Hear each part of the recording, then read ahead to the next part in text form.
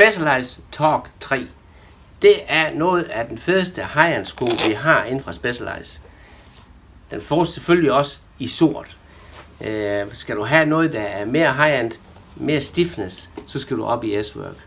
Så til prisen, der er det her en fantastisk stiv sko. Det er lavet med Bora, men det er Specialized system. Det er ikke noget med, at du skal trykke ind eller hive ud eller gøre ved. Det vil sige, der hvor det er en fordel også, det er når du har skoovertræk på, så kan du lige stramme dem lidt, hvis du skal vende byskildsbrutten, eller løsne dem lidt, hvis dine fødder de er en lille smule hævet. Se, de har jo lavet øh, øh, bunden her, en rigtig, rigtig stiv bund. Øh, hælen her, den er selvfølgelig aftagelig, så du kan have sådan en sko her i mange år. Det er lavet til ganske almindelige øh, klamper. Lidt ventilation i bunden her, og det er også lavet med en slidsål ude i spidsen.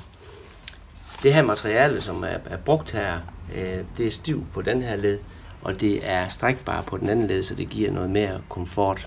I øvrigt så er det det samme stof, man lavede fællesskab af under 2. verdenskrig.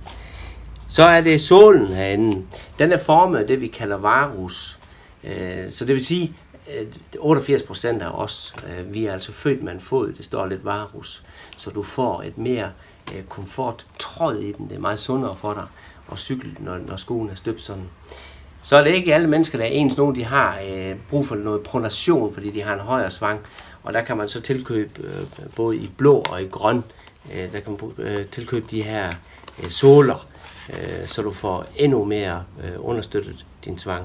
Endelig så har du også muligheden for at få specialized øh, custom made såler, som vi laver herinde i butikken. Men kort og godt, du skal have en sko med noget komfort i, du skal have en sko øh, med noget stiffness i, du skal have den her lagt i kog, og så skal du glæde dig, fordi så er den på vej til dig.